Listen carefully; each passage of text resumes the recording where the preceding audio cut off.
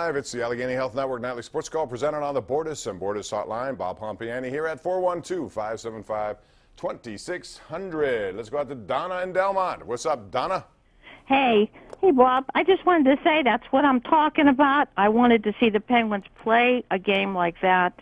They had they were all over them.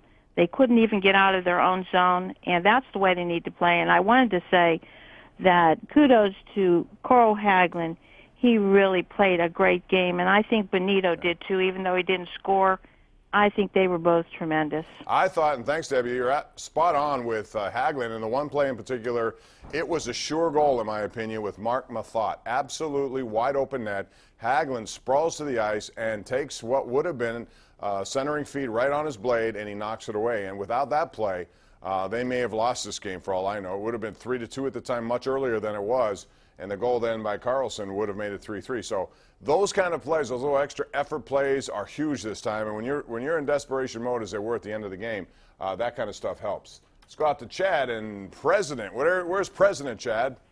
Hey, we're halfway between Erie and Pittsburgh. Uh, All right. Tionesta, Oil City, Franklin area. How you doing? I like Tionesta. I've been up there a few times. Thanks. There, there you go, sir. I'm on the Allegheny River right now. Hey, sir, I just uh, uh, let's go Pens and let's go Bucks. But I just had a question for you. I've been reading a lot lately, uh, a lot of naysayers, and I was just wondering what you think of uh, what we've done here in the draft and, and free agency and what we've built for defense. I really feel like we're we got another dynasty coming here. I feel we're putting oh. pieces in place. Well, if, uh, if, Brady's still playing and New England's still there, I don't know if I would say that. Uh, but thanks for the call from President. Appreciate that. Chad, what I would say is, uh, you know, now the sixth round pick makes sense to me because Greg Warren was physically not going to pass his physical. They obviously had to know that, and they drafted a long snapper, which I would never do, but they had to do, I guess. So that makes sense. Fourth round pick Dobbs, I'm not so sure of, just because fourth round picks typically don't turn into franchise quarterbacks. Dak Prescott's are rare. We'll see what happens. And he, it's only one year for him, too. We see RG3 go through that, and look what happened subsequent years. But I think overall, uh, you know, they attack their needs, and that's what you got to do. You got to go after what you need, and hopefully those guys. I think you're going to see because Mike Tomlin has changed his philosophy.